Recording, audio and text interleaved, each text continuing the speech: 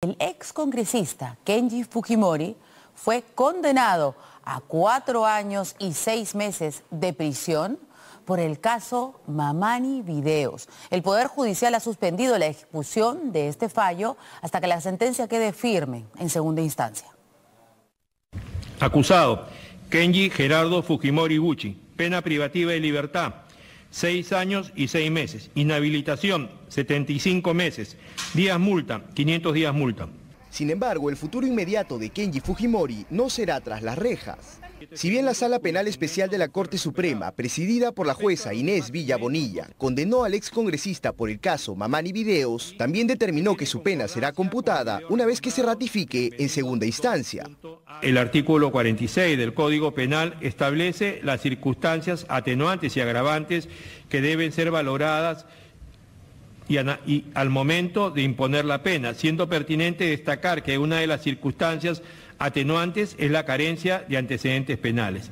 Al momento de su salida de la sede judicial, Fujimori prefirió no hablar con la prensa y en medio del alboroto de sus simpatizantes, quienes lo esperaron desde el inicio de la audiencia, abordó su vehículo junto con su abogada.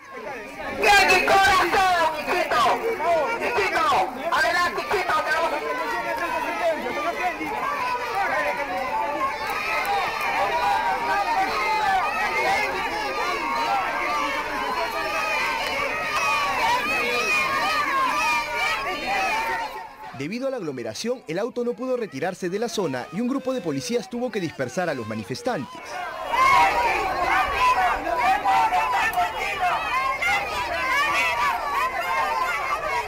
Horas más tarde, el hijo menor de Alberto Fujimori expresó cuál es su sensación en medio de un problema legal que se originó luego de que Fuerza Popular difundiera los videos que lo comprometían.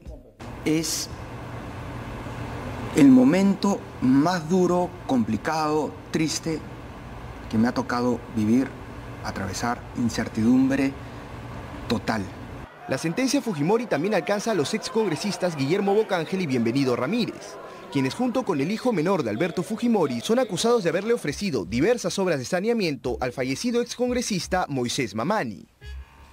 La finalidad de este acuerdo, según la Fiscalía, fue que Mamani vote en contra de la vacancia del entonces presidente Pedro Pablo Kuczynski. De esta forma no se cumple lo solicitado por el Ministerio Público que había pedido 12 años de cárcel por los presuntos delitos de tráfico de influencias agravado y cohecho activo genérico. El desenlace de esta historia lo conoceremos cuando finalmente la Corte Suprema dicte el veredicto final en segunda instancia.